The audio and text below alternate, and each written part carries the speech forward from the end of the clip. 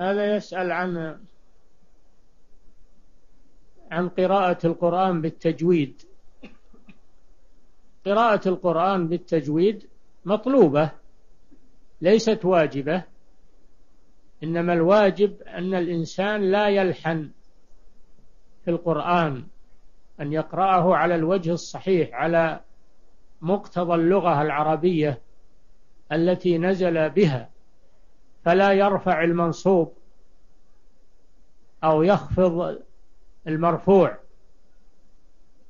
بل يقرأ قراءة معربة معربة باللسان العربي. هذا هو الواجب.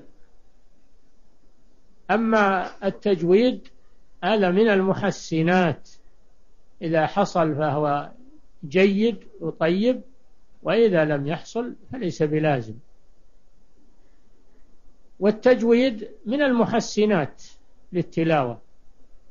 ولكن بدون مبالغة لأن بعض الناس يبالغ في المدود ويبالغ في الغنة ويبالغ حتى أنه قد بعضهم قد يخرج القراءة إلى الألحان يخرجها إلى الألحان والغنى هذا لا يجوز. وجاء في الحديث أن أقوام في آخر الزمان يتخذون القرآن للغنى. وخير الأمور الوسط. لا يترك التجويد ولا يبالغ وإنما يتوسط. هذا هو المطلوب.